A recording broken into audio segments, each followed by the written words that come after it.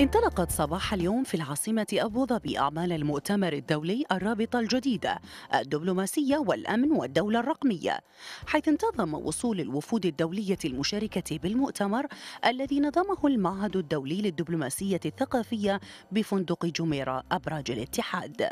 وأوضح الدكتور محمد كامل المعيني رئيس المعهد الدولي للدبلوماسية الثقافية بأن المؤتمر يهدف إلى دراسة طبيعة العلاقات الدبلوماسية والأمن والدولة الرقمية والعلاقات المتبادلة بينها. بدأنا المعهد طبعا من سنة 2010 بدينا في عمل لقاءات وفي نفس الوقت مؤتمرات وندوات وهذا طبعا المؤتمر الأول المؤتمر الدولي واللي يشمل فيه طبعا مجموعة من الخبراء مجموعة من الأكاديميين مجموعة من المفكرين اللي يثرون النقاش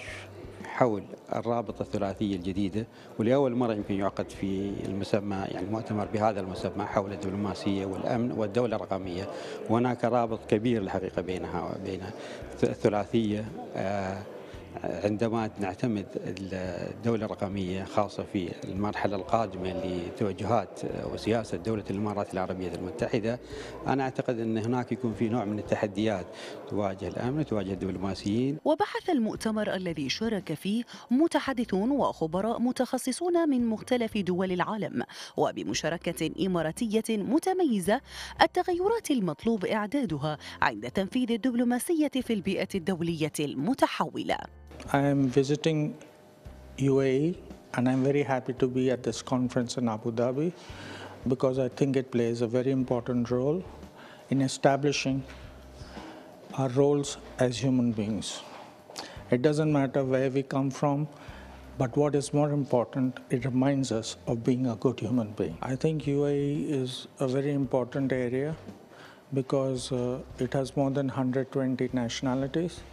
and we all live in harmony and in peace in the UAE. We all speak different languages, but at the same time, we are in a position to understand each other. وأكد المؤتمر على الدور الهام الذي يلعبه المعهد الدولي للدبلوماسية الثقافية حيث أنه نظم سلسلة من المؤتمرات الدبلوماسية والتي استكشفت وتوقعت الأنماط الناشئة في الدبلوماسية في القرن الحادي والعشرين حيث شكل كل موضوع تحديا وبعيد المدى وأعطى المشاركين فرصة للتواصل ولتبادل الأفكار والخبرات وقد اجتذبت هذه المؤتمرات كبار المسؤولين الحكوميين ورؤساء البعثات الدبلوماسية وصناع القرار من جميع أنحاء العالم.